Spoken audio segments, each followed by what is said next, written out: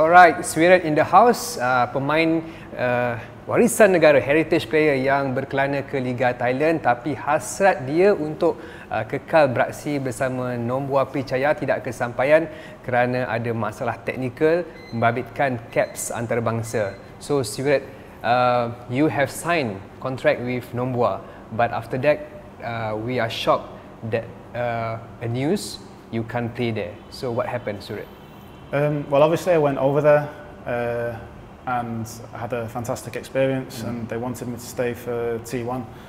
But unfortunately, um, after signing the contract, the extension, um, they pushed uh, from their side, Malaysia pushed from their side to allow me to play, but unfortunately, it seems that we can't get past the, the three cap rule.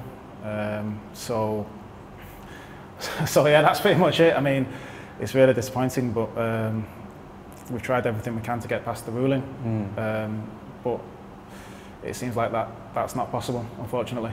All right. Uh, how many times you have tried to appeal, uh, maybe maybe appeal to play there? Um, I've got to say Stuart Ramalingam.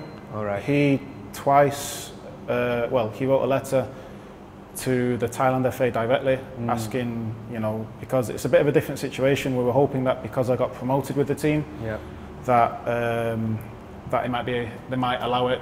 It's not as though I'm coming from the outside in and asking for an exemption. Mm. I got mm. promoted with the team, so they were hoping that um, I'm, you know, we'd, we'd, find a way past the ruling. Mm. Uh, Stuart, I think, contacted Thailand FA twice.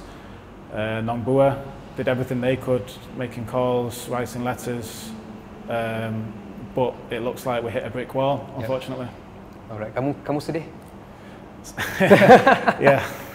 Sangat sangat sedih. Tapi tapi ya, ini biasa ini ini bola sepak. Saya mesti kerja dan you know what happens happens you know. Alright. masa depan tak tahu apa apa uh, happen you know yeah, alright. Okay. Uh, but uh, I, I feel that you are sad. Uh, So how do you see the situation? You are among players that help the team to qualify mm-hmm. to the first division, I think. Mm-hmm. So yeah, how do you see the situation? You help the team, but you can't continue with this team. Yeah. I mean, obviously, I played a very, very small part. You know, I yeah. went over there and they, I think the very team. Short period, right? Yeah, yeah, but they had the best.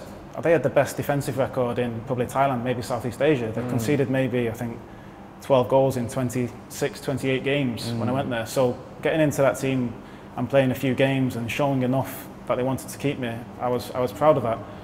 Um, but yeah, it, it, was it was a fantastic experience. It was absolutely it was brilliant. They they made me feel part of the family, and like I said in previous interviews, it's a totally different football culture to Malaysia. Everything about it was different, and um, being honest, I want to return to Thai football in the future mm, for right. sure.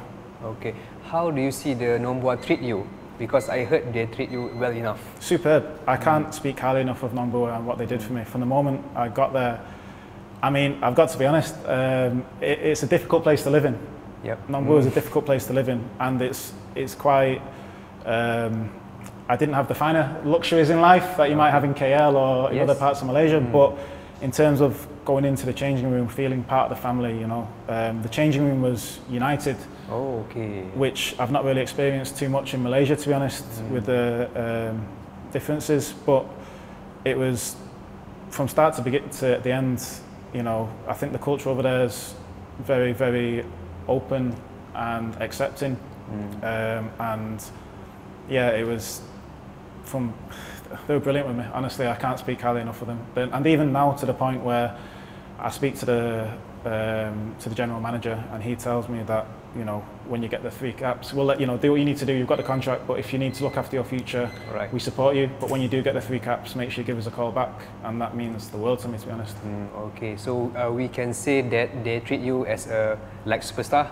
No, not superstar. no, no, no, no. Me, I'm never a superstar. No, no, no, no. No, they treat me just as, as a human being, as a, right. as a family, as part of the family. Mm, okay. You know, and, that, and that's because I wouldn't want to be treated as a superstar. Okay. I want to you know, no, no, for real though. You know, I want to, they, they treat me as another, as, as one of them, and that, that meant the world to me. So. All right, okay, all right.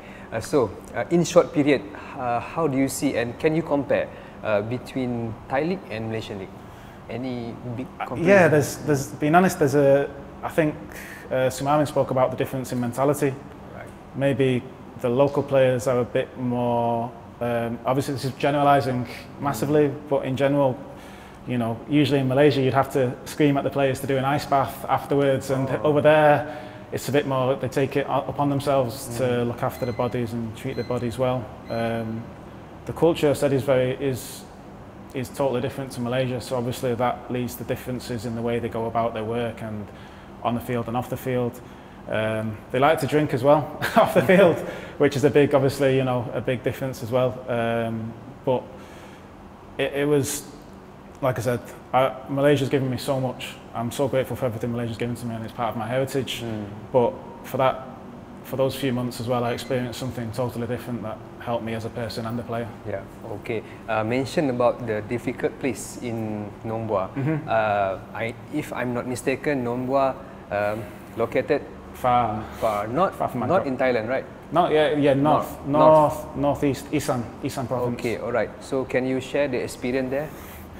Um, yeah, like I said, it's it's it's difficult. There's no in the village. There's no uh, there's no taxis. Oh. There's no nothing. It takes five minutes to drive around Okay. the, the place. Um, the food is even by Thai standards is the hottest of the hot. Okay. So like when I, you tell them my pet, you know, uh, for the you know for the food, but not spicy. But Okay. um, but even then it it blows your mouth off.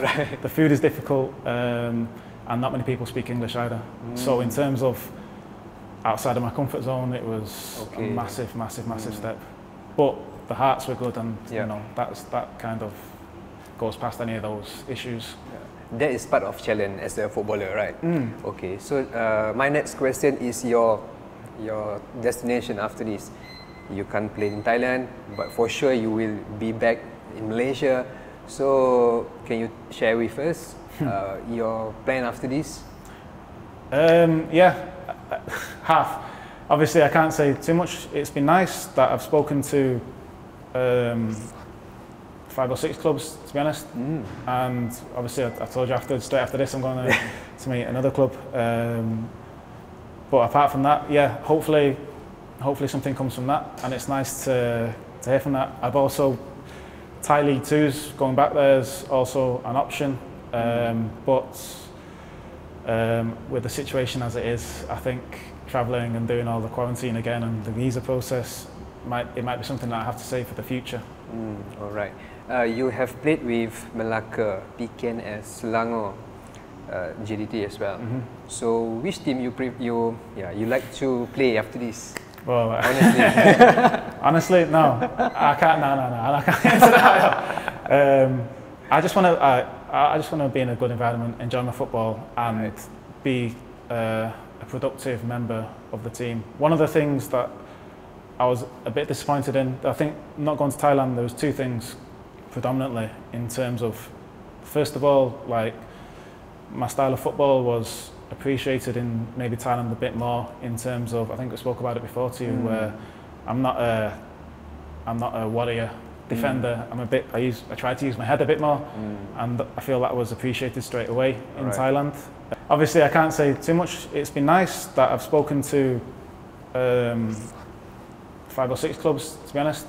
And obviously I, I told you after straight after this I'm going to, to meet another club um, but apart from that yeah hopefully hopefully something comes from that. And it's nice to, to hear from that. I've also Thai League 2's going back there is also an option but at the moment yeah it, it looks it looks most likely in Malaysia So when you will finalize? well hopefully before the window. Otherwise otherwise I'll have problems mate. Um, but yeah hopefully um, in the coming days. Alright. keep your updated mate. Okay, thank you Swirad dan sudah pasti itu yang dinantikan oleh peminat uh, bola sepak tanah air uh, mengenai perkembangan uh, Nick Swiret ke mana hala tujunya selepas ini. Banyak pasukan dikaitkan tetapi kita simpan dulu di sini. Kita akan bawakan perkembangan ini dari semasa ke semasa. Zuhail Mizan Al-Azam untuk Nadia Dina.